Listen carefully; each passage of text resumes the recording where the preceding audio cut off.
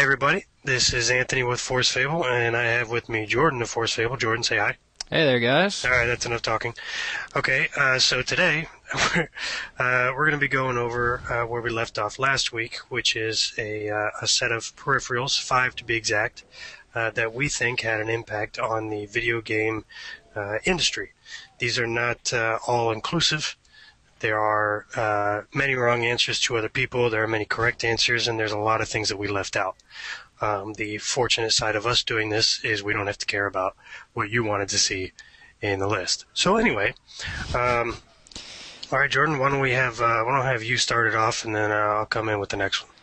All right. So first up, if I am correct here, I believe we have the Nintendo Zapper, which was basically like the very first, uh, widely used at least, um, light gun, and obviously that led to a lot of other peripherals.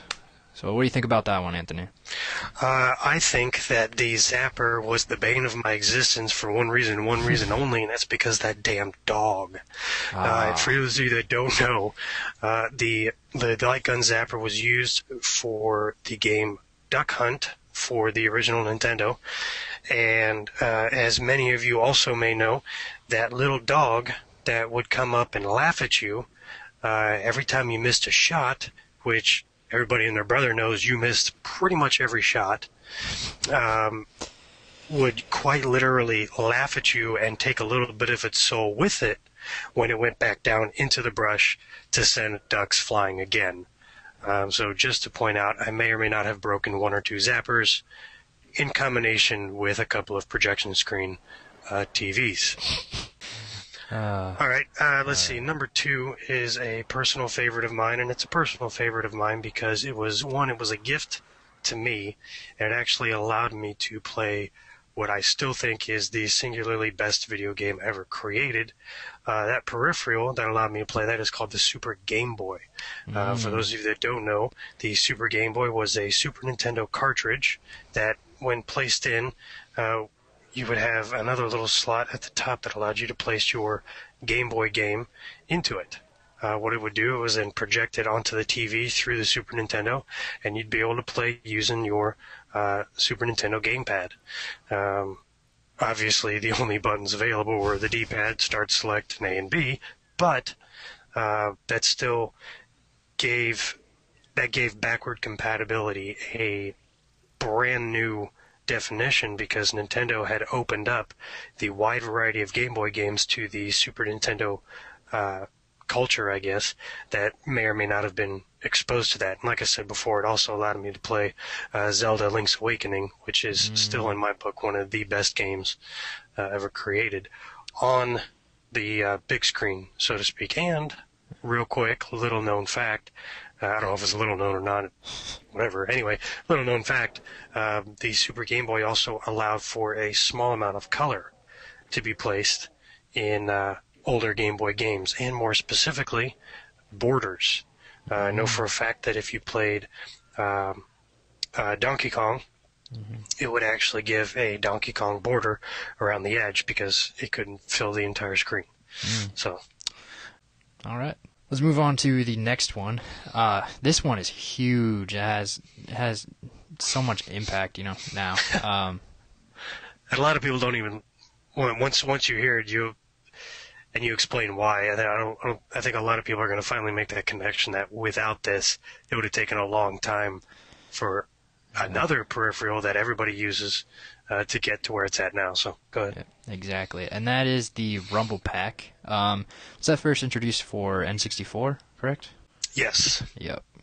Plugged into the bottom of your controller, if I remember right. Um, this this one you might want to want to take over more than I, because I never really played a whole lot of N64. But so the best uh, the best the best reason the uh, the Rumble Pack uh, for me anyway was uh, such an amazing peripheral for that point in time was specifically for the game Star Fox 64, and mm-hmm. it was for mm. one reason and one reason only. Um, other than you know when you ran into something or when you got hit or whatever, the, the rumble pack would actually vibrate the controller in your hands. What I'm specifically talking about is at the very end when you're fighting Andross, and uh. regardless of regardless of which version of Andross you're attacking. Once you've finally complete uh, completed that level and he explodes, it is probably the longest rumble I have felt in a rumble pack, and of the strongest caliber. uh, it it literally left that uh, you know when you're when you're swinging a bat, which happens outside of the house, which we don't really talk about that much, but um, when you go to like a batting cage or something like that, and you've got the bat in your hand, and you hit the you hit the softball or you hit the baseball, and that vibration that goes through your hands, it was damn near that strong, hmm. uh, and for an extensive amount of time, because as anybody that's played Star Fox 64 knows, that is a huge boss battle, and that singular explosion alone actually meant a lot because it revealed your father and he helped you escape and blah blah. So, yeah, that's for me. That's why the the Rumble Pack made made such an impression. Yeah, and uh, along with that, I mean, obviously it led to you know built-in rumble and vib- vibration for yep. basically every controller after that. Um, so huge, huge there. All right. Uh, so, would you like to take the next one, sir? yeah, I'll keep talking. It's cool. um, okay, so uh, that actually leads into the, the next peripheral, which is the memory card.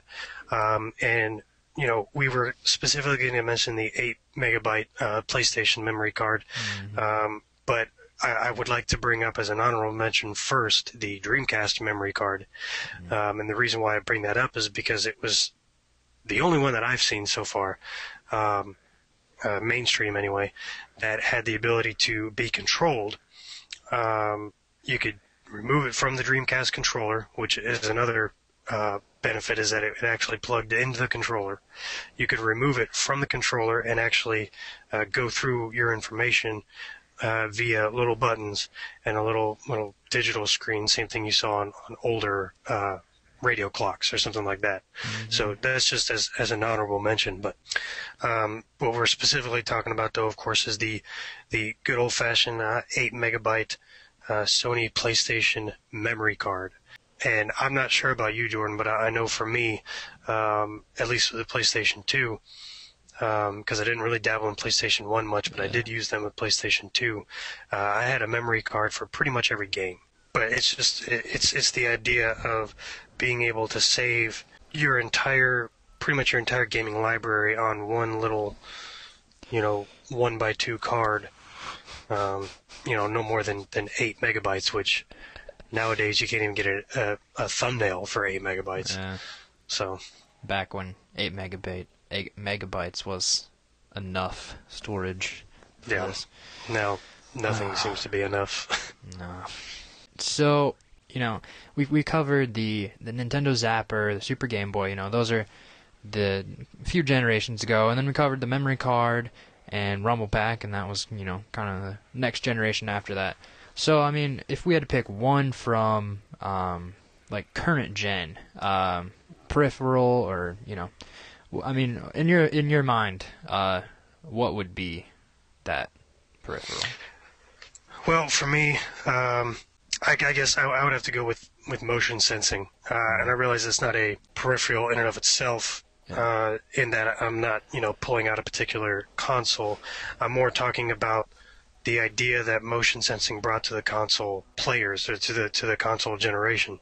Uh, so much so it affected uh, console gaming so much so that Nintendo actually based, you know, one of their platforms entirely on motion sensing, the Wii uh, using the, the nunchuck controller, and it's it's actually pretty funny what happened after that, um, because as the Wii actually gained momentum in the, the family games industry and using the Wii, the Wiimote and the, the nunchuck and everything like that, in, in dancing games and in, in, bowling games like Wii bowling, things like that, um, the uh, the president of uh, of, of Sony, uh, the the PlayStation, mm-hmm. um, actually made a joke at one point that it looked like players were, were playing with a lollipop. Um, in that he didn't see uh, motion gaming ever really going anywhere. Yeah. And then, not too long after that, they they come up with the PlayStation Move, which, which literally looks like a lollipop. so that's that that was pretty funny in my eyes, but it it again opened up that, that whole idea that that motion gaming was actually coming into heavily into play. That even a giant like Sony was going to follow in Nintendo's footsteps and actually try to put forth uh, motion sensing gameplay. Uh, everybody knows that did not turn out well at all. Fast forward a little bit past that, and you see uh, Microsoft take what we did, what Sony did, mix it together, remove the controller, but kept the camera. Yeah. And we all know that as the Kinect. Mm-hmm. Um, that is a step above motion gameplay in that there is no controller required. There's just your body. Yeah, and I mean, obviously, there's a lot of people who say like, "Oh, the Wii is a novelty, Kinect is a novelty, Move just kind of crashed and burned." Um, but I mean, you know, I mean, I follow Xbox quite a bit, and there's obviously been the news out there of um, like, is Kinect integrated into the system, you know, and all that. And I mean, personally, I'm I'm looking forward to see what they do with it. I mean, yeah, I Absolutely. I'm not I'm not a big fan of just the whole like waving your limbs about and all that, but I feel like there is a lot of potential there if they refine it and they use it in some good ways.